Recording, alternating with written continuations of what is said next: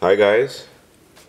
So in the previous lecture we talked about Ito's integral for uh, simple processes.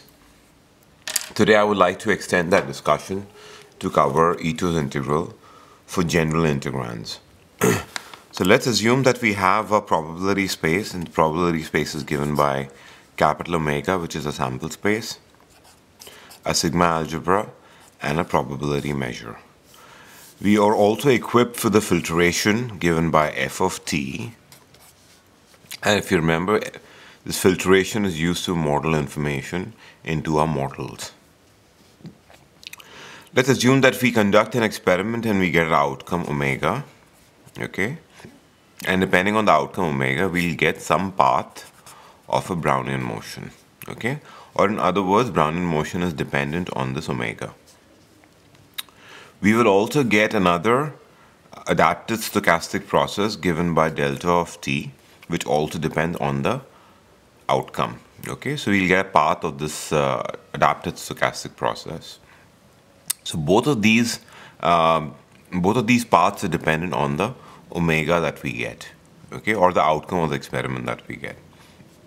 And if you were to conduct the experiment again, we would get a different omega, and hence you would get different path of our Brownian motion and different path of our adapted stochastic process. So we already know what our adapted stochastic process is. It basically is ft measurable and that means that the, the, uh, the, this can depend on the information available to us at time till time t but it cannot depend on any information beyond time t okay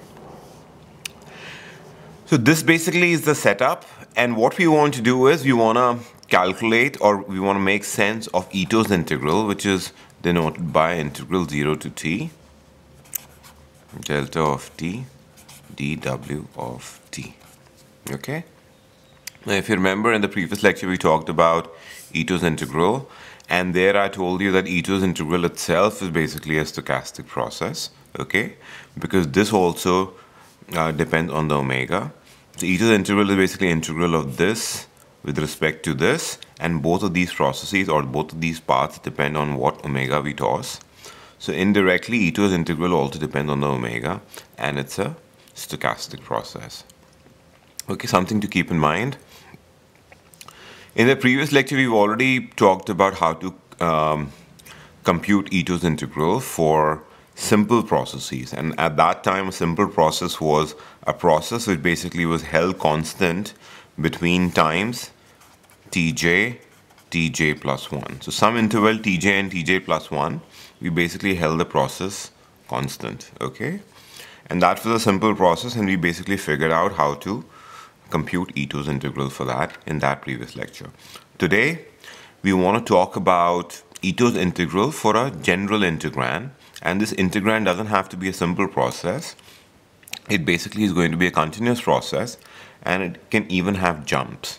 So for example, I can try to draw one process here. Let's assume this is the time axis and this is value of delta t. Let's assume the process starts some initial value here and then goes something like that. And then at some point basically jumps and maybe it goes down like that okay?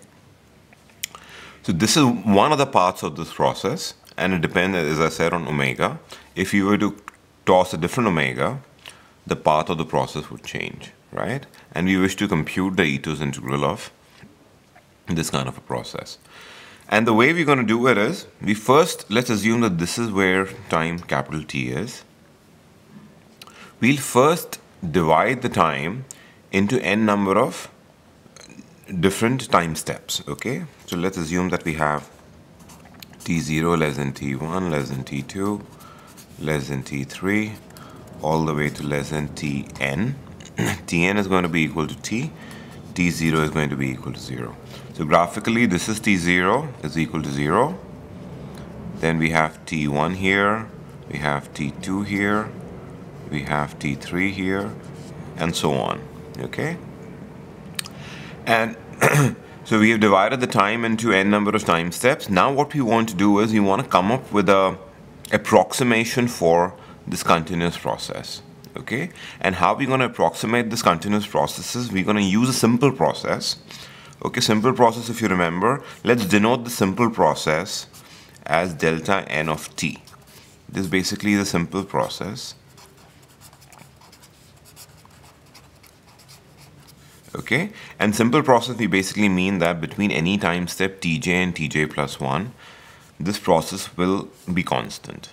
Okay, and what we'll do is we'll set the value of this process during any time interval equal to the value of the process that we're trying to uh, approximate.